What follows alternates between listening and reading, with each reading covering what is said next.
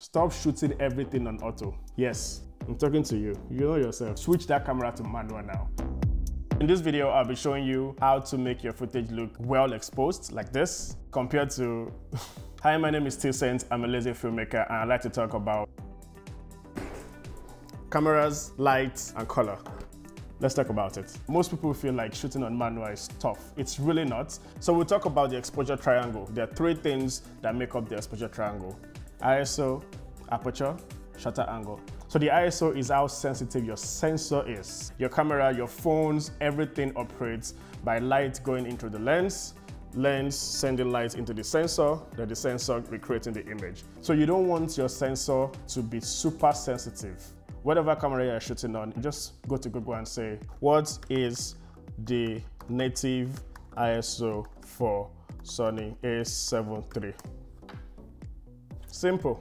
Once you know the native ISO of your camera, don't ever go over that native ISO. So if your native ISO is 800, for example, whatever the case might be, try to make sure your ISO is not set anything higher than that. You can go lower, it's fine. The lower it is, the cleaner your images. But if you go higher than your native ISO, then you start to break your footage. And breaking doesn't mean... All right, so I'm going to create a scenario now where let's say it's dark. I just assume that it's dark. It's not yet dark here, but I put the uh, aperture down to, you know, give me a sense of darkness. Or better still, let me use the shutter speed to cut down the lights so I can see have that blurry background. Give me a second. Then take up the shutter speed. Shutter speed is the one on this side. So let's say it's as dark as this and I really want to, you know, expose and I have to bump up my ISO. So let's take the ISO all the way now. Because right now, let's test. If I stand in front of the camera right now, you can hardly see me. And this is not what you want. So let's say you don't have any lights on you and you're tempted to increase your ISO to expose the footage. This is what would happen. I'm going to bump up the ISO now. Bump the ISO up to, which is ridiculous because I would never do this, to 1600. It looks decent because on your small monitor screen, it looks very decent. It looks like, yeah, this is all right. I can expose this. This makes you feel like, yeah, you're well exposed. Yeah, we got the shots. There was no light, but our camera handled it. You're lying to yourself. By the time you put it on your computer, you're going to see noise. And I'm very sure you will see noise. You see noise, I mean you don't see noise. So that's what happens when you have to force your ISO, you know, increase your ISO to like a ridiculous amount, way over your native ISO. You start to introduce noise and it's really not advisable. So when you don't have light, when you're in a place like this, for example, let's say it's dark and there's no light, instead of bumping your ISO up to the craziest amount, why not move the person to somewhere maybe under a street light uh, where there's a source of light and then try to use that light to like increase your exposure a bit. I would always advise you introduce light and keep your settings as minimum as possible than trying to force the camera to like see. Because when you do that, again, you break the image. So with everything, when it comes to the exposure triangle, there's a pro and there's a con. So when you increase your ISO, what happens? You allow more light, you see your shot becomes brighter, but as you're increasing it and you are enjoying the benefit of a brighter shot, you are also introducing noise to your footage. So you have to be the one to decide what you're trading in terms of image quality over brightness. Get it? The aperture is how much your lens can open or how much you can close. Your aperture opens like this. This is fully open, this is closed. When it's closed, you can see just small light coming into your aperture closed. When it opens, you can see. So let's say an aperture 1.2, that's fully open. That means you can take in all the light in your scene and your camera has more light. And again, like I said, with more light, your shot becomes what? Brighter. When you close it, you are reducing the light coming into your shot. And as you're reducing that light, your footage becomes darker. There's something you trade off also. When you open your aperture, you introduce the shallow depth of field. And that's what everybody likes. If you look at your phone, actually, you will see when you're filming on cinematic, you'll see f2 point something. I don't know what the exact number is, but precisely what the lens does is the lens fully opens so it focuses on what is in front of it and blurs out the background. So when you open your aperture to the fullest, you get two things. You get more light, then the second thing is you get is what? More blurry background. So right now I'm filming on um, ISO 200 and my shutter speed is on 50 and I have my aperture fully open to 1.8. So this is what happens when you use an aperture fully open.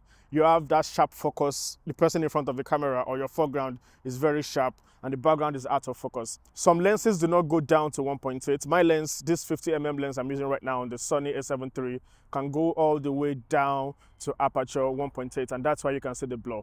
But it's not every time that you want that. Think about it. You're probably at Mount Alaska or you're probably on the top of a mountain, which I would never find myself there. I don't like to hike. Um, or maybe you've gone to this beautiful place in Paris, or you are somewhere like you're at a destination, you know, you've taken a trip abroad and you're taking a nice video. And then you are the only thing in focus. Everything is blurred out. So you don't even know where you are. You can't take in the environment because you've fully opened your aperture. So there are times um, there's a place where you don't want to use that. So what you have to do is to close your aperture. But as you are closing your aperture, you get more focus, things will be more focus, you'll see the background more, but then you start to lose light. So I'm going to change it now. I'm going to change it to, let's say a 4.0 and you can see the difference. What I would do is try to maintain the same exposure. So I might have to bump up the ISO um, just a little bit to make sure the exposure is the same.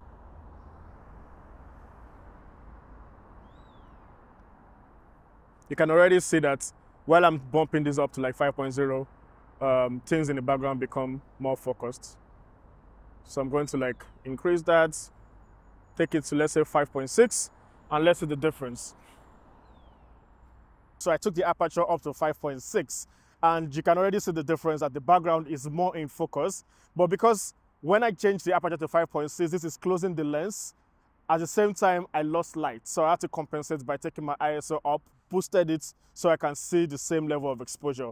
The more you close down your aperture, the more you get more things in focus. So this might be essential if I'm doing a news feed and I'm talking about guys. So I'm on the road right now in Bradford and you can see there's traffic building up in the background. I'm in this beautiful park and it's so lovely. It's so cold out here, but I just wanted to give you this demonstration to let you know how aperture affects your footage. Then the last one is the shutter angle. Shutter speed is how slow or how fast the sensor opens and closes to capture light. Video is made up of pictures, so a 10 minutes video is probably like a million photos just stacked up. So it's like a frame after a frame after a frame. So I'm filming right now on 25 frames per second and my shutter is set to 50, which is the rule of thumb. So you double the number of your frame rate. So if you're filming on 30 frames per second, then you double the shutter speed, which is 60. If you look at my finger, there's a very good chance that you can see the blur. So that's what shutter speed does. The camera is not able to capture as fast. So the camera is capturing just little trails of my finger going up and down. I'm going to stop the shot now and change the shutter to let's say 100, which is like double or 50 and I'll do the same thing and let's see if you can see my fingers like if you can see them freeze in action better okay so right now I just changed my shutter speed to 160 and before you could see my fingers, you know, a bit blurry, but now if you look at my fingers, let's see. So right now, I can't see what you're saying, but you should be able to see my fingers even a bit clearer now. The blur should have been reduced now. The camera is basically capturing faster. So the camera is opening and closing way quicker so you can capture the frame quicker. So I'm going to take the shutter to like, let's say 250 now, and just to see the difference. So right now I've cranked up the shutter to 320 when you increase your shutter, which helps you to capture things sharper in motion you're going to lose light because then you're cutting down on the light. So cut down means reduce in cinematography lingo. So that's the trade-off for shutter speed.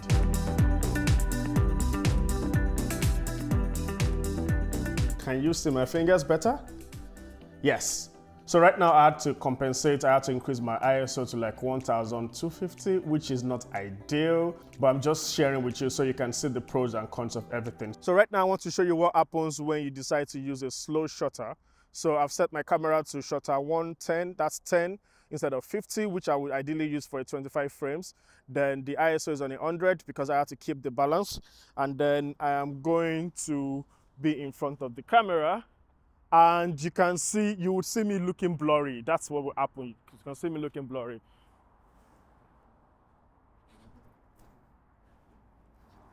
So this is what's happening. The shutter is closing and opening so slow. So it's like this and this, like this and this. While it opens, I've already made my motion and completed it before it closes. So it's not capturing me in real time. So it's basically sluggish That's the way I would explain it to you. And you can use this for like artistic purposes. You might want to shoot, let's say traffic, and you want to shoot cars, you know, trails of cars, their, their backlights and stuff. That would make sense. But if you're not doing that, then you want to keep your shutter the double of your frame rates. So I'm taking my shutter back to 50. And uh, I have to go up on, on ISO to balance out the exposure. Like I said, it's a trade-off, it's a triangle. You turn one, you turn the other one. So right now, everything is back to decent exposure and it should be fine right now.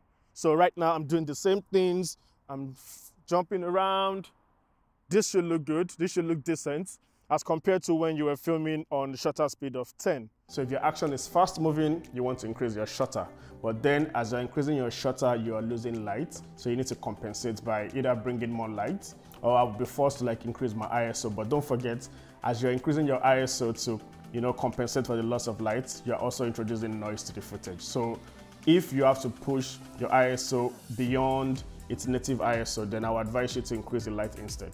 So that right there is the exposure triangle and I know it sounds like a mouthful and yes, it might be like a mouthful at times, but the more you start practicing with these things, the more you start like experimenting with it, the more you start learning how to compensate. You know, you have to let go of something for something. There are other tools as a cinematographer that you can use to compensate for light and you don't have to like, you know, for example, you don't have to lose your depth of field or you don't have to lose your motion blur because for me, I like a little bit of motion blur. So my camera is usually set to 50 shutter and my frame rate is usually like 25 or sometimes 23.98 or 24. You know, all those industry jargons that I don't need you to bother about right now because when people watch your footage, they're not really going to ask you what ISO, what shutter speed. I mean, people do, but most people are not going to ask you about those details. What matters is how they feel when they watch your footage. What matters is the experience on screen that you create for them. You just need these tools to be able to manipulate things. But I'm not going to ask you what shutter unless the shutter decision you made or the ISO decision you made has impacted your footage and now I can see it. So that's why you want to play within the rules and also break it when it's comfortable for you. That's it for today. That's the end of the video. I hope I've been able to teach you how to achieve perfect exposure or maybe close to perfect. And also I hope I've been able to demystify the entire idea of exposure or exposure triangle. If you have questions, please feel free to ask me in the comment section. And if you want to see more videos like this where I teach you things not from the textbook, but just basically as a guy gisting with another person, telling you about camera terms and breaking it down to everyday terms, then let me know in the comment section. My name is Saint, I'm a lazy filmmaker based in the UK, and I like to talk about cameras, lights, and color. See you in the next video. Bye.